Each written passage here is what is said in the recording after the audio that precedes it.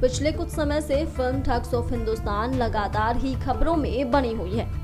इस फ़िल्म के किरदारों का अलग अलग अवतार देखकर फैंस फ़िल्म के लिए काफ़ी एक्साइटेड हो रहे हैं। तो बता दें कि फ़िल्म का गाना जल्द ही रिलीज़ होने वाला है। मीडिया के हवाले से यह जानकारी दी गई थी कि बॉलीवुड कलाकार आमिर खान ने अपनी आने वाली फ़िल्म ठग्स ऑफ़ हिंदुस्तान की शूटिंग लगभग पूरी कर ली है। और अब वो फ़िल्म की टीम के साथ बैठकर इसके प्रमोशन की प्लानिंग भी कर रहे हैं।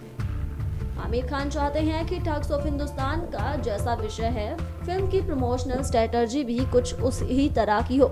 अगर फ़िल्म से जुड़ी ताज़ा खबरों की बात की जाए तो फ़िल्म की टीम ने बैठकर प्रमोशन की रूपरेखा तैयार कर ली है। तो अब कहा जा रहा है कि फ़िल्म का गाना जल्द ही रिलीज़ कर दिया जाएगा, जिससे फैंस के बीच एक्साइटमेंट और भी ज़्यादा बढ़ने वाली है। वैसे ही ये फ़िल्म अपने किरदारों को लेकर लोगों के बीच छाई हुई है। नेक्स्ट न्यूज़ रूम से चित्रा की रिपोर्ट।